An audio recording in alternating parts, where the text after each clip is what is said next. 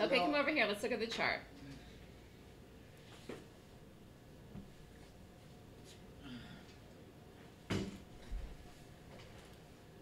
Okay. Um, OPK. Let's go over the chart here for Philip. First of all, we didn't do the first trade in this. We missed it. Completely missed it. Yes. Should have watched three things. Two things is a lot for me to watch. Anyways, this worked right out of the gate. I did rate the gap. I did rate the gap in the morning, but I also thought it would only have a small target. I mean, it ended. Look at this move today. Huge. Yes. So it fell off a planet. Boom. Look at that. Amazing. And even in here, I should have called it. For one split second, I thought, should I call it at 70, put the stop over the high, and then I didn't. I thought, it's too late, it's going. But the stop was good. It was still only a 30 cent stop. And then I thought, well, it'll back up, it'll back up, and never backed up. So then I called it in here with a wide stop. That was a good call. Everybody stayed with it.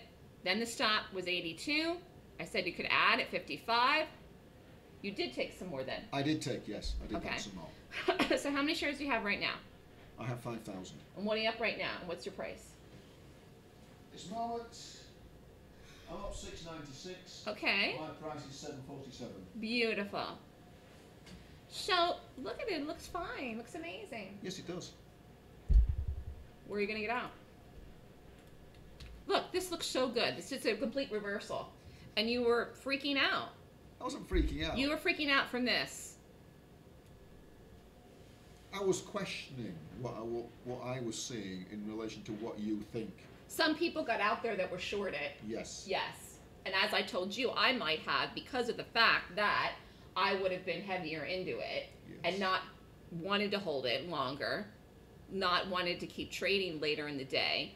And therefore, if I had done this, I would have just whopped on the size. It's a cheap stock for a move down in. And I did say 730, 725, 720. I did say it's going to do something at one of these areas. It could have been 725.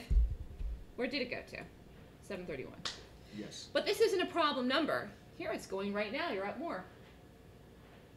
What are you, what are you going to do? You can't make the decision in the live moment because it bounces back too fast. And if this goes down to 7:15 and then that's it, and you don't get out, and it bounces back to 7:30, do you know what I'm saying? Like, I don't. You know, you have to decide. And this is the whole discussion in the room today. Before you enter a trade, how much you're risking. If you like it enough to retake it, you don't have to decide if you're going to add or not you know, necessarily. You did this because you didn't know if you're going to get an ad. And I said it was fine to do that. But you, you kind of need to know what you're doing with this now. I would be happy at break even, or as you suggested, 715, 720 area. 715, you're going to be up money. I will be. Yeah. If it gets to 715, though, I'm telling you that it's going to break it probably. Right. But it might do a little Yes. three like green bar, done. boo, boo, boo. Yes. Yes. And then what are you going to do? Like what this could do is, I'm just because I know charts, it could go up, do this, drop, break, do, do, do. Then it goes down.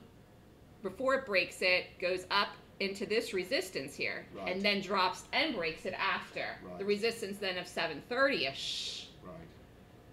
It could bounce back 15 cents, drop, break, go to 7. I mean, would you cut your position in half That's another option you can do. and lower your stop? I like to full on play things through usually. That's what I do. And no, I told you I don't think you should lower the stop. I said that. I think you should keep it. People in the room wanted to lower the stop, and I said if you want to, you can. Obviously, if they did, they were fine. People could have lowered the stop here, but you know, when you trade later in the day, you're you, you know you have to be watching the market, and you also really should use the correct stop, anyways. And this looks very good. And I also told you that no one's going to be buying this today. It either continues to go or it just flatlines, and as it's you've seen, it's continuing to go. Now let's look at the cues. They're red. The SPY is red. Yes. I don't think we're going to recover in the market today. I I think the market will not recover green today. Right. I'm not saying it has a big sell-off, but knowing that, you have the market against you. It is 12 o'clock major reversal time. I would like to see this go now and continue here between 12 and 1 because it's getting close to the lows, because it's major reversal time. I don't think this should take two hours to go 15 cents. Right. It's not going to not move. It's either going to push back or it's going to keep going in the next two hours. So it'd be better if it takes between now and 1 to keep going. But it's slow moving here, but that's a good sign of selling. So again, what do you want to do? Well, I'll to stay with it as long as I possibly can. You. You so can stay with it to 359 if you want, but that's not, no, I don't know where the stock will be 359. Realistically, I, if I, yes, I would be getting itchy when I was getting to break even, definitely. What are you up right now? You're going to be up 800 something, I think, now. Um, just short 700 the, the trade's working. It's it's. I mean, Well, what, it you know, it's, is. it's fine. So why would I want to kill it? Right. So that's why I'm trying. I'm trying to tell you. Where are you going to get out? 715. Let it break. Yes. 720. Seven fifteen, ideally. You know, 10 more cents. You're going to be up over a thousand bucks. Yes. 10 more cents is $500.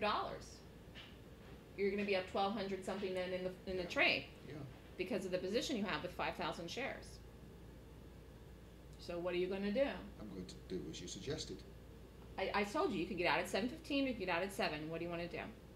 If you get out at seven, the whole the whole total of profit in this trade will be twenty three fifty. That would be terrific for you. You would. Uh, you know, really. Yeah. I'd be up thirteen hundred on the day. Yeah, yeah. You would more than have exceeded your goal for that what you're doing in the day, and also that you would have had another over two thousand dollar trade. Yes. But no one said it's going to take five minutes. I That's know. the problem with That trading is- in the That afternoon. is the problem. Yeah.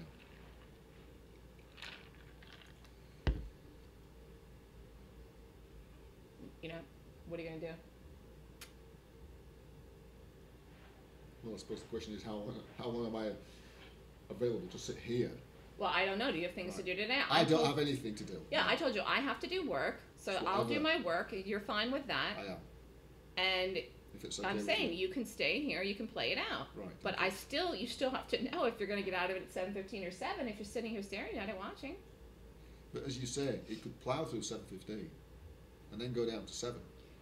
In which case, yes, I would If it, take if it it does seven. that, it's easy. It's just like when the stock is. fell out of the sky this morning, but we weren't watching It it. It's easy to decide then. It's when it stops at seven fifteen, bounces, yes, back. what are you going to do? That's when you think, Ugh. What are you going to do? At this moment, I like the look of it. I like what it's doing, so I would play to seven. If it goes down to the low of the day and does not break and fall off a planet, what are you going to do? Take it out? Take it. Yes, that's what you need to know, and you need to decide, and you need to make a conscious decision, and not play it in the moment and say, "I think boo boo boo." Okay. All right.